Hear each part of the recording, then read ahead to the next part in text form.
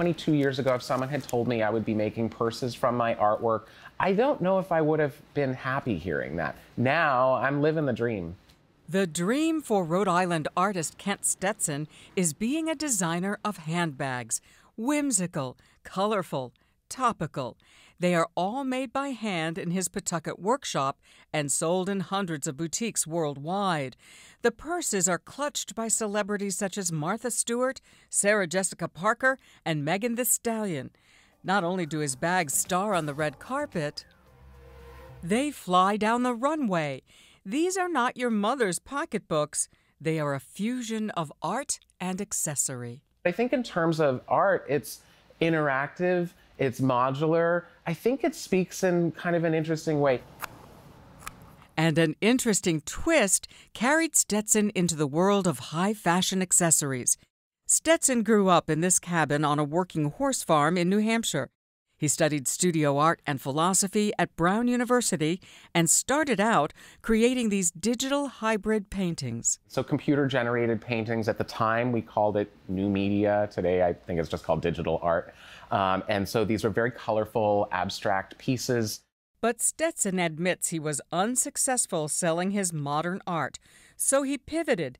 His plan B translated to in the bag. I worked at a shoe store at the time, though, and I had a gift for convincing people to buy shoes and handbags that they didn't particularly need. And so I connected the dots. How did you land on purses as the frame for your artwork? Of all things you could have picked. It was a way to package my art in a format that had some use. A handbag gave me much more license to be fun than I ever felt I had permission to do with a piece hanging on the wall. And so almost instantly, I made pieces that were a little bit irreverent and tongue in cheek and funny. Funny, as in notoriously tasteful. Stetson's popular confections, made in Hope Artiste Village, feature donuts, animal crackers, sushi, and even our state's famous wieners. Three all the way. New York system is an iconic Rhode Island comfort food, um, and so we had to translate it into a bag. Stetson says when you carry one of his designer handbags, it starts a conversation and might make a friend, whether it's one of his doggy bags or a selection from his bar cart of popular cocktails. They're a statement piece. It's an exclamation point on your outfit. I mean, it does not get the silent treatment. When you carry one of my pieces, it gets acknowledged. And sometimes it can initiate a complicated discussion, which was the case with this attention grabbing bag.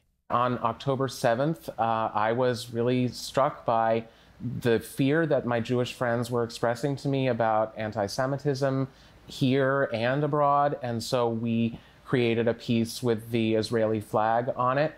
And um, we still make that piece, and we are donating the proceeds to Amnesty International. Um, and so I wanted to make it very clear that our company is very opposed to anti Semitism and Islamophobia as well. Kent Stetson's signature handbags, which sell for between 150 and $300, support a number of charitable causes. One style references the lace collar of late Supreme Court Justice Ruth Bader Ginsburg. When she passed, um, Mariska Hargitay used this bag on Law and Order Special Victims Unit. Just got an alert. Irene is building. Okay, Kat, uh, you and I will go up. The sales for this piece sort of went haywire, um, and so we donate the proceeds to the ACLU. Others may tote an alligator handbag supporting Everglades preservation. Everything start to finish is done right here. Stetson says making each purse takes 50 steps and three days to complete. First, he creates an image, formats it on his computer, prints and laminates the canvas. But while the process begins with high tech innovation, the rest is old world craftsmanship, hand tracing, and hand sewing. In general, Stetson signature bags are slim envelope styles.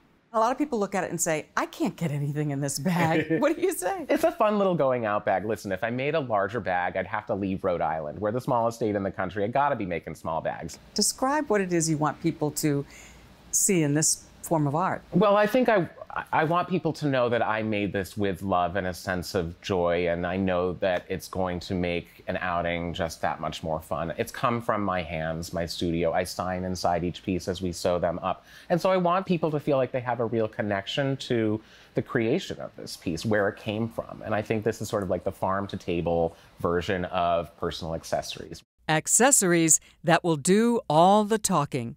People are going to say something. You're going to light up the room. So if you want to be left alone, if you want a chill, low key evening, do not carry one of my pieces.